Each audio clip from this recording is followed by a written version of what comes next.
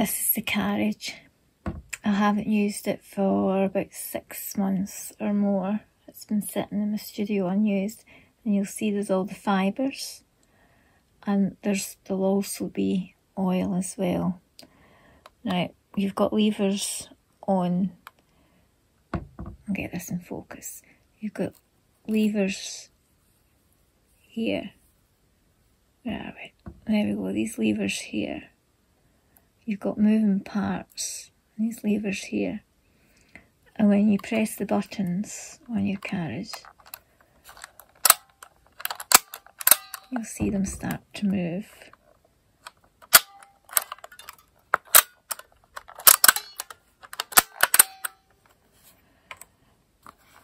Right, let's see if I can get this. is quite heavy holding it. Uh, let's see. So you can see that one there. So what you want to do is you want all these parts there, see how they're all moving? All these parts, you need to clean them. First of all, what I recommend using is using dry cotton bud to get right in and underneath all the little areas and see how there's a screw there and there's a lever there. This is all going to move. So you get the cotton bud under, clean it, and then you press the corresponding button on the carriage to move that lever and then you clean it again.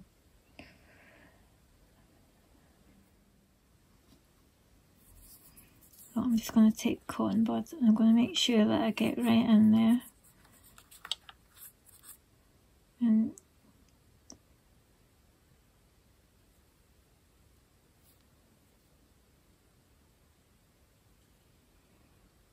Can you see how dirty that is? And there'll be a lot more where that came from. Now, as you're knitting, knitting on the knitting machine, certain fibres tend, certain yarn tends to shed more than others. So when you first first get a knitting machine, if you're buying a second hand, knitting machine, the first thing you should do is give it an oil and a clean. Especially if it's it's not been used and it's been sitting under a bed for a while. So you're just paying attention so you're going under. Oh, it's a huge bit there, see the bit?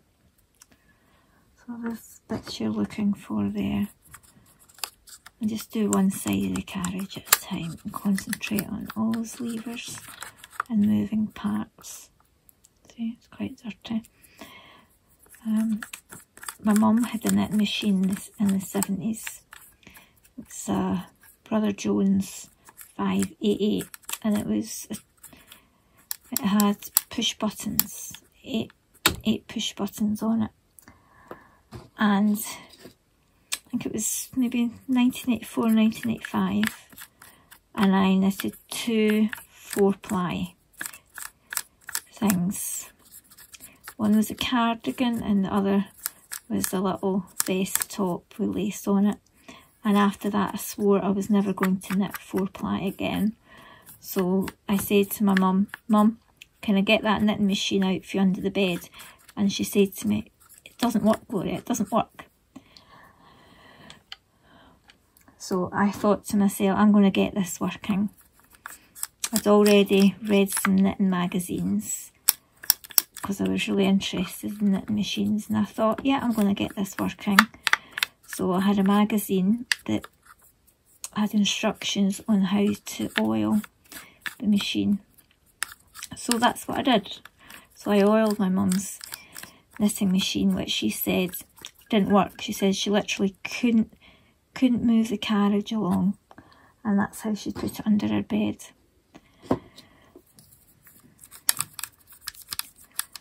So you just keep on going with this until basically your cotton buds are clean. So yeah, so I managed to get it working. I was 16 at the time and that's when I first started doing knitting on a knitting machine and I was lucky enough to have my mum there to show me how to use it. And as a child, I always had machine knitted cardigans and jumpers, especially school ones. My mum would knit them for us, for me and my brother. So she still had some yarn there, so I was very lucky that I had everything there. But yeah, I managed to get our machine working. It's quite dirty. So I was enjoying using that machine, but I, I wanted to do more designs. So what I did was I asked my parents if they would get me a punch card, 24 stitch punch card, knitting machine for my Christmas. So they agreed that I could, they would get me one if I paid half the money. So I ended up, I got a brother 830. It was not well looked after, but good oil and it was good to go. The lady that was using it was forcing it with double knitting, hand knitting yarns and she wasn't taking care of it. It hadn't been oiled and looked after, I think. So we still go, so three, four, five, six. So I've used about eight cotton buds so far. I'm still going. Yeah, that's us in camera now. So that takes a few minutes, but it is, worth it.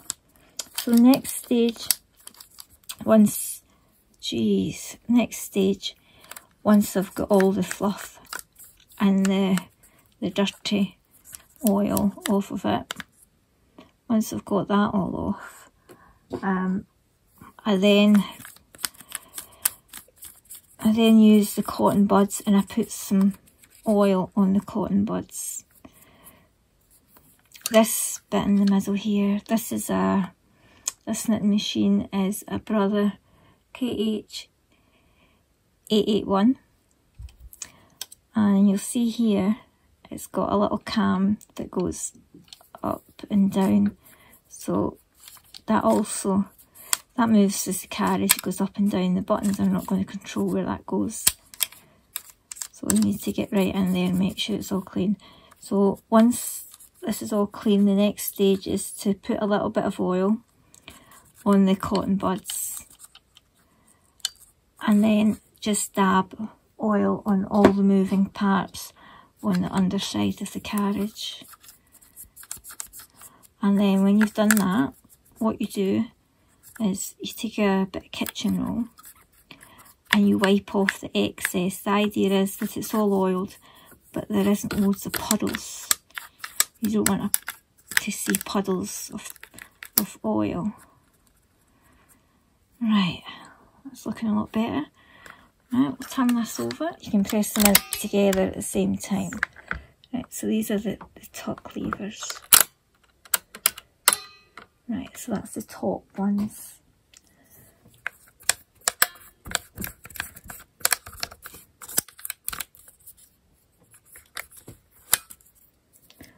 There's still fluff coming off of it. But yeah, you just keep on going. It's amazing how much gets trapped in it. But yeah, as I see some some sheds, sorry about that, I'm knocking the camera. Some yarn shed more than others. They're quite, oh, there's a lot in this bit. Some are like quite fibrous press the middle button and they'll spring back. Now I'm going to press two slip buttons and you'll see the levers corresponding to that in a second. Just wait until the camera steadies.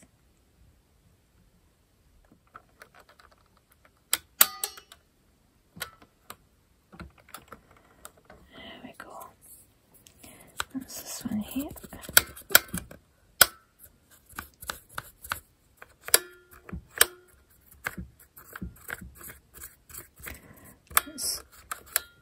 Looking a lot better. But yeah, I can still see bits. So it's just a case of keeping going. You'll see like the, that bit is glistening there. That's old oil, so I want to wipe that off. So you're looking for any bits that may have old oil on it. And I also think the the needles, the way the machine works, is when you're pulling your carriage across, the needles are going to go through and follow. They're going to follow a route depending on what levers you've, you've selected there. So there's, I'll bring this over here. So when it's done its patterning, it's still going to come through here.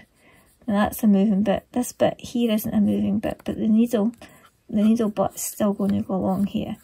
So you still want to clean those bits as well. So you just need to think about anything that's it's going to be metal, touching metal. Right.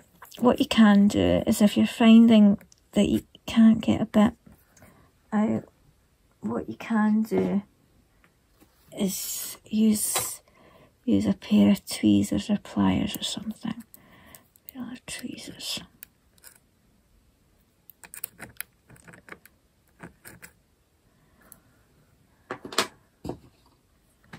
Try again. There we go. We got that. It's just a little bit.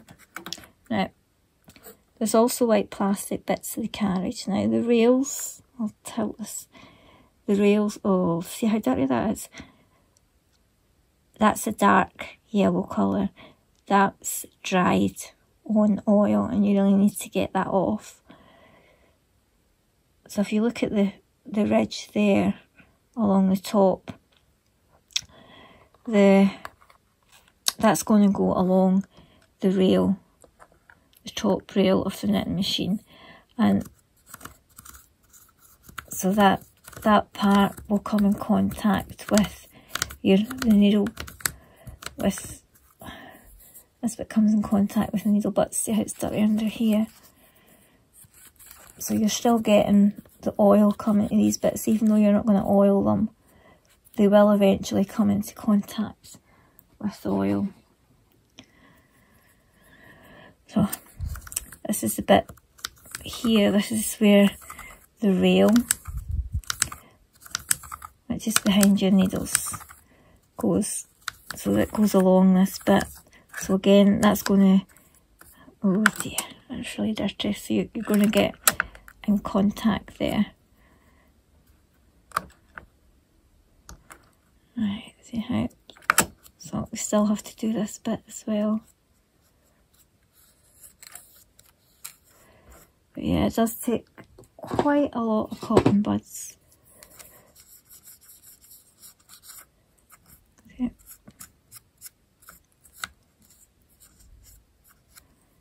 Jeez. And I actually cleaned this, oiled and cleaned this just before Christmas and I only knitted a few hats but still managed to get itself quite filthy. Right, these little orange pegs here, sinker gates. Now, most of the time they're not going to be used, but certain times they are. So I'm just going to push this in here and try and move it to get in. And the other one's the same. Bit of oil as well. So it's looking a lot better now. There's still a few bits I can see. So this bit, this bit here is dried in. So I really need to, that's a really important bit to get off. Jeez, it's filthy.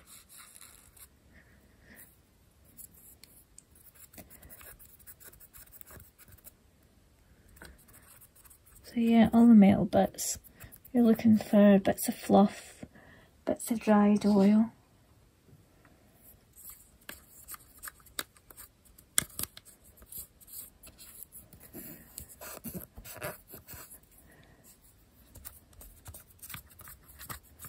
I'm giving this qu quite a thorough clean just now. Um, I recommend when you're doing your, your knitting, when you're going from like a light colour to dark colour, if you knit a light colour jumper and then you're going to go to light vice, vice versa. I recommend that you take, the machine should come with a brush similar to this, that you take your brush along and brush it off because you'll find that you you get tiny fibres. And if you've got quite a high contrast in your yarn from one garment to another, you don't want those fibres getting mixed.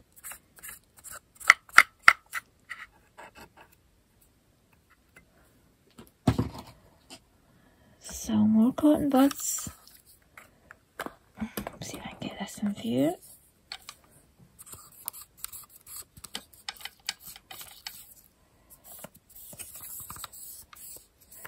Again, right, let's see. Can you see that this it's a bit awkward because I've got it quite close so that you can see what I'm doing.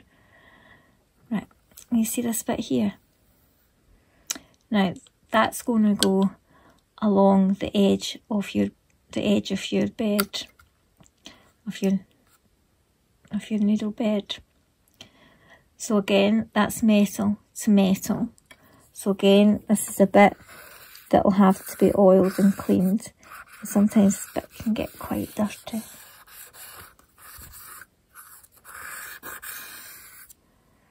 See what I mean? If you don't oil, oil there, what happens is, if you don't oil this bit here, the two bits of metal constantly rubbing you're knitting, over time, it'll actually wear away and scratch the metal. So again, that's a place, that's an area that's it's very important to oil. Right, let's see. So I'm just going to have a quick check. Let's see. Even though this area that I'm doing just now is just, it's just got a screw in it, it's still, it's all dirty in there. Want to give it the best as clean that I can. As I say, I'm giving it quite a thorough, a thorough clean as well. So this area here is me. This is going to be metal to metal as well, and you can see over time actually. Let's see if I hold it up. You can see there's little scratches.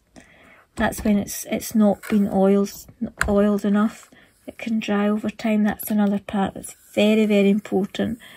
Just to have a little slither of oil there. Right, let's see how that's looking. That's a lot better.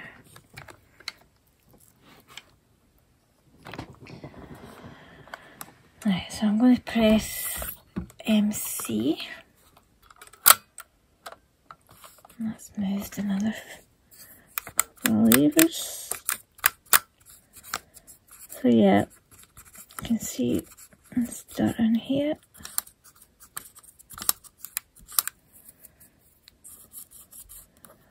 But yeah, I've usually used 20 cotton buds.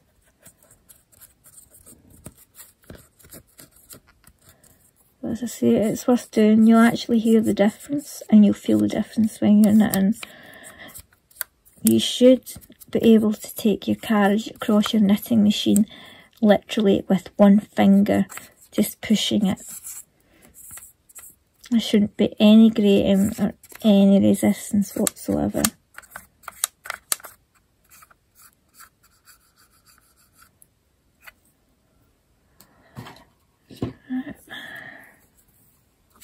One more cotton bud I think that'll be us.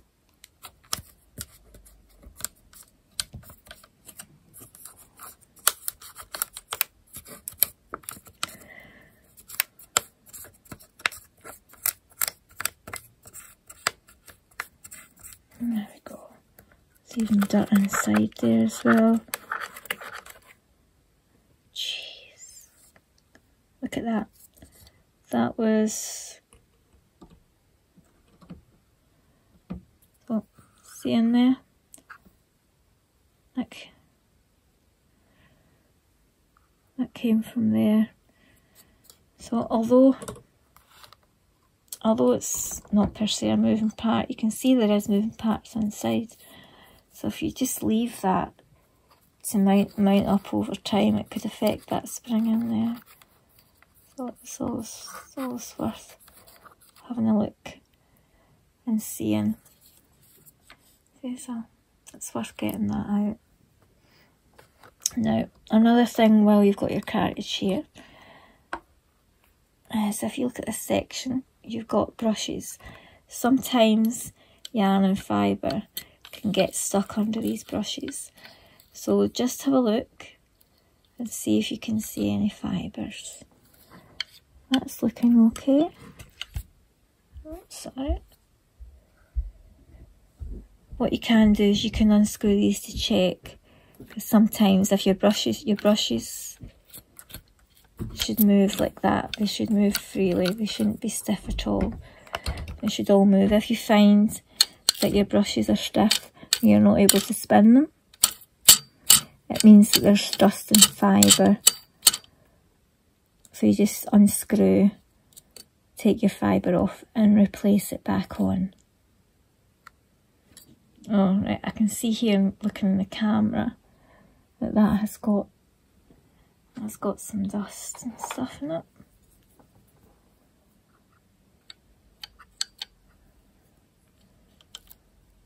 Right, it's that one. Still getting used to doing videos. So I'm actually just using a wee tool. This is actually one of the rubber tools. You can use one of your latch tools and take that off. Yeah. Just move the other one camera magnifies it. Yeah, I think that looks okay. So what I'm going to do is just give this a, a wipe over the kitchen roll as well. Especially the plastic bits. And here's any excess dirty. Oh, see? You don't think it's dirty until you start, you start rubbing. And then you find that oil and all these nooks and crannies.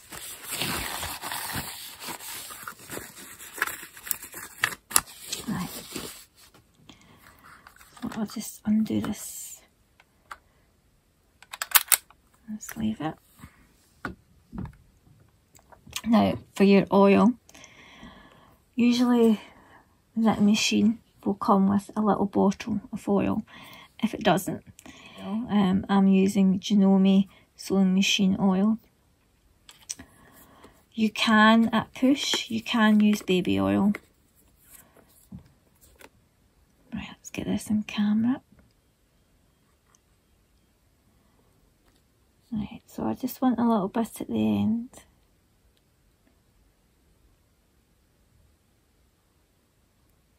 That's it.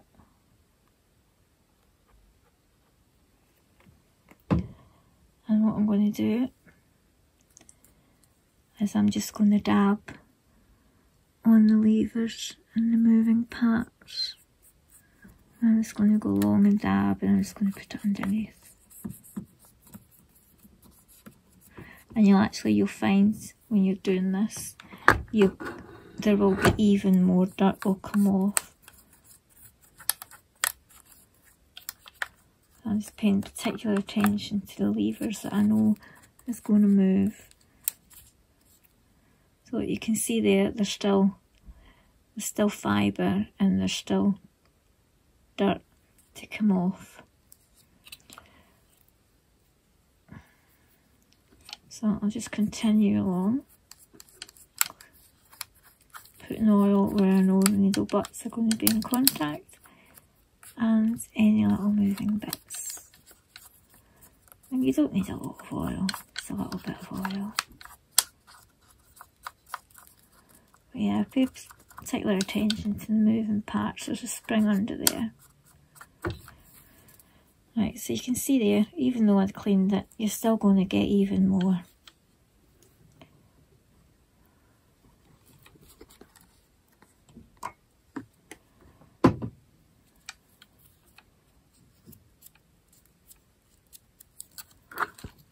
I'm just going to keep on going.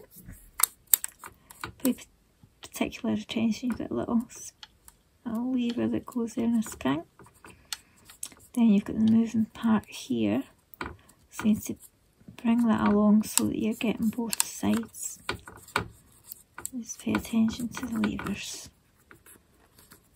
It's, it's okay to move them a bit, as long as you're not forceful.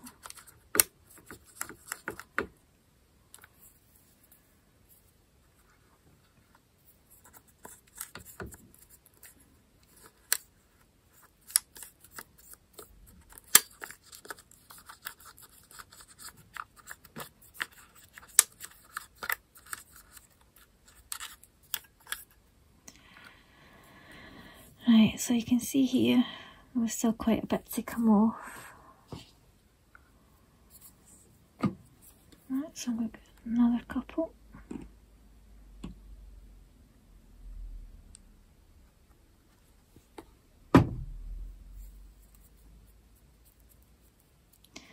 And see, I'm only putting a little bit, not putting too much because I don't, I don't want any oil. I'm basically just going into all the moving parts, parts where the needle, needles, needle butts will go along.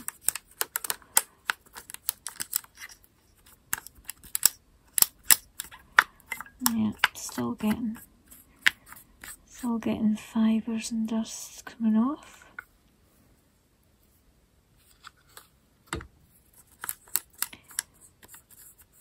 It's, right, can you see here? You've got a bit of metal and it curves down like that. Again you're going to get metal to metal on that bit so it's worth doing it's worth going over that bit.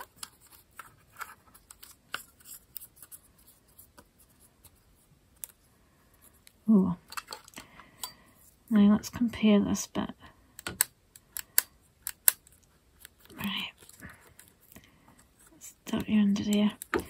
Now this one you compare the other one, it moves really slowly. So that is definitely, it's needing oiled in there. And that moves this bit here. So I'm going to give this more oil.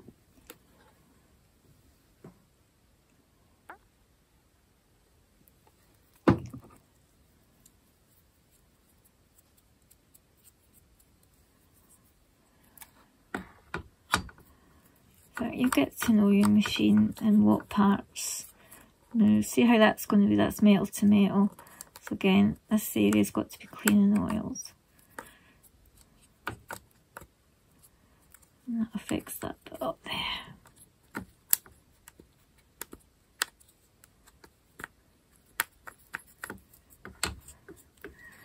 Right.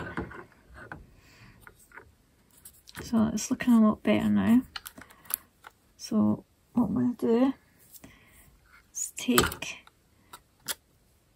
clean cotton buds and those areas that have oiled, especially the top bits, I'm just going to go like that and I'm going to smooth the oil out, I'm going to spread the oil out so that I don't get any blobs of oil.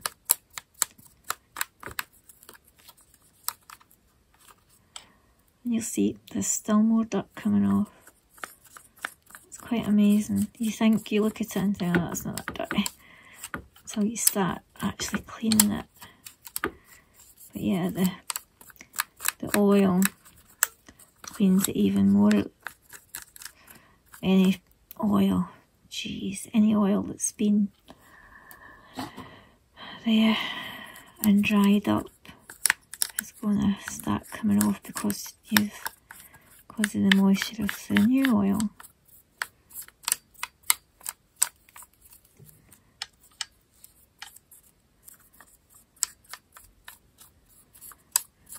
Now, I don't know if you can see it. I can see it, it's glistening now, but I don't have any blobs left. Right, so the next thing is for the non-moving non-moving parts like the rails etc plenty of oil for this this time. Now if you've got the bottle of oil that comes with the knitting machine I'm just going to do this here. Here. Just give it a little oil um, the bottle that actually comes with the knitting machine, it's got a little brush at the end, so that's a lot easier to use. So you can actually just take your little bottle and go like that.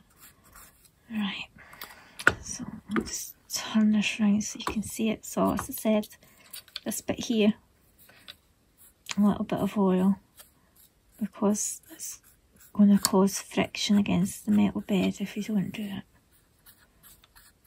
I can see there's a few scratch marks on mine. I got this machine 1990 so it's pretty old but it's still good as long as you look after them they'll last for years. And there's knit machines that were out in the 60s and 70s and they're, they're still going. Right that's looking so much better now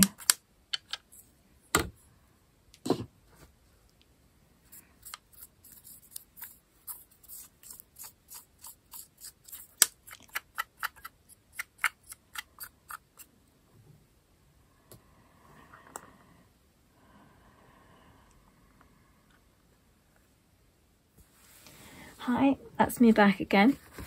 So I'm going to show you where you need to wipe the, the dirty oil and fibre off. So this bit here is where the carriage is going to run along. Remember I said it was going to come in contact with that. So with the dry kitchen roll, you want to wipe that bit. You also want to give the, the needle butts you want to give them a wipe as well. And then paying attention to this area as well. So generally, I just give it a wipe in the one direction. And you can bring your needles forward a little bit as well. Just bring it back forward. And you can see. So I'll continue doing that all the way along.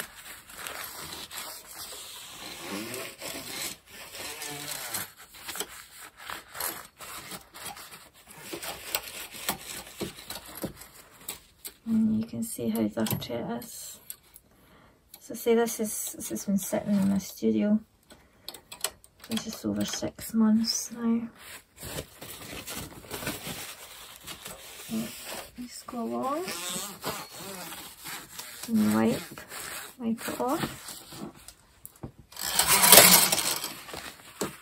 And just keep wiping along there and you'll see there's little bits of oil and dirt coming off. when you've done that, got the oil off, next stage is to get any fibre off and you use your brush and your knitting machine will come come with a ruler like this and you use this to bring your needles back and forward.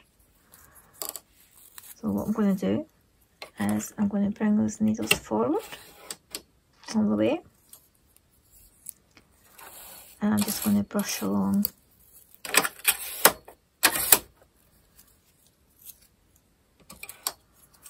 I'm just going to brush along. And that gets any loose, loose fibre. You do that all the way along. And this part here where the belt goes. You can also often get fibre in there as well. Right. So this this bit in here where your, your stitch ruler is and your needles. You use the brush and you do a sweeping movement out the way like that. And you do that all the way along and you pay attention. Oh, I'll just move this out a bit. Pay attention to the end of your needles as well. And make sure all the latches open and close okay? And at this stage you can look and you can see if you've got any broken or bent latches. Now they should all close properly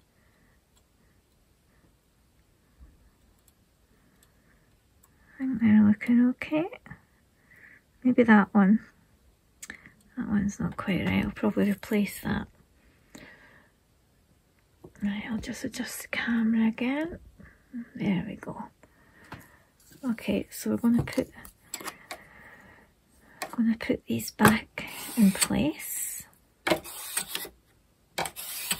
Back of the bed.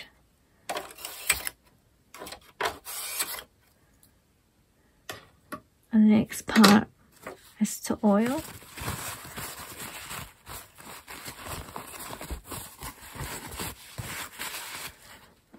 So one decent amount on here on a cloth. And just rub it in. And just wrap it around the finger.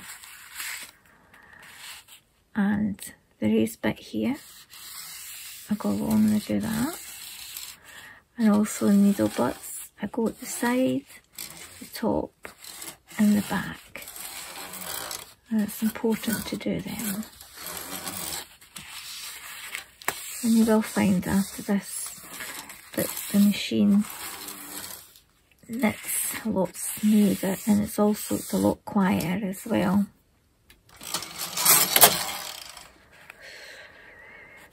Look at the depth. Right. Getting out of the kitchen.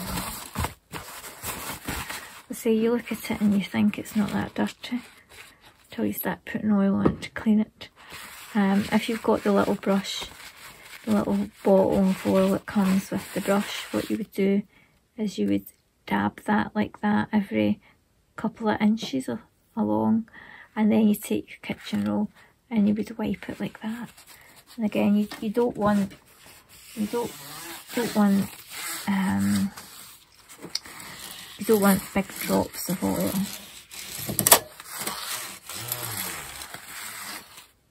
So as you can see, more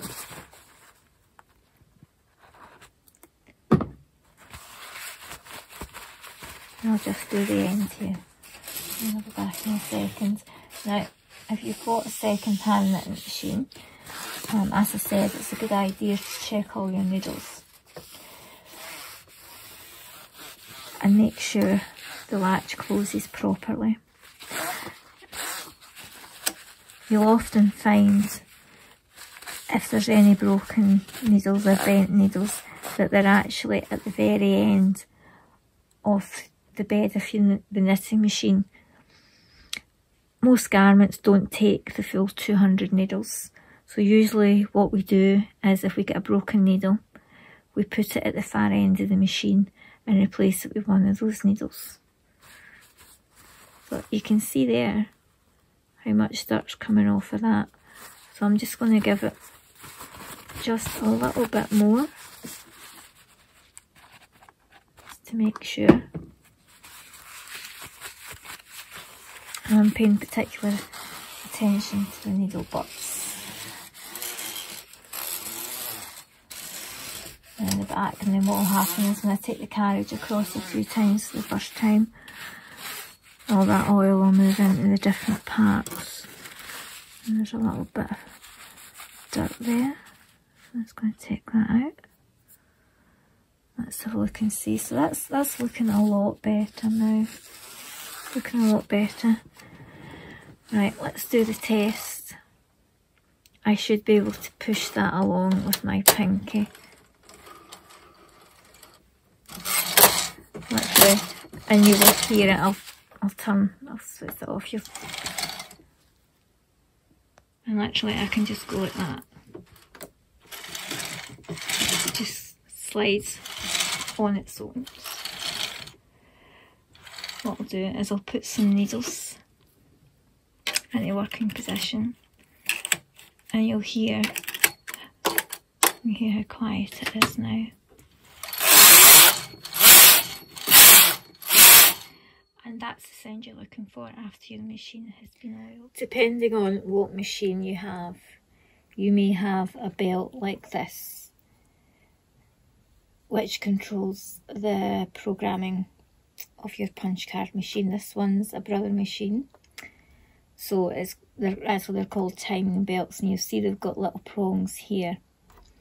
So what you need to do is actually engage your along, engage your timing belt by putting your carriage to KC and then if you listen you'll hear it engage. That's engaging. You see this belt actually moves along. Now this wheel is another part that that needs oiled and cleaned. So the reason I've engaged it is because I can then get in contact with all of the little pins that, that come out so I've already got some oil on this cotton bud so I'm just going to give them a little bit of oil in this area as well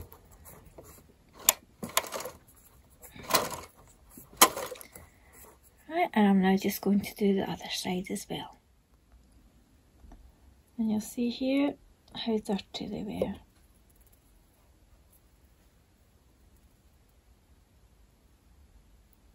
So it's definitely worth doing that part as well.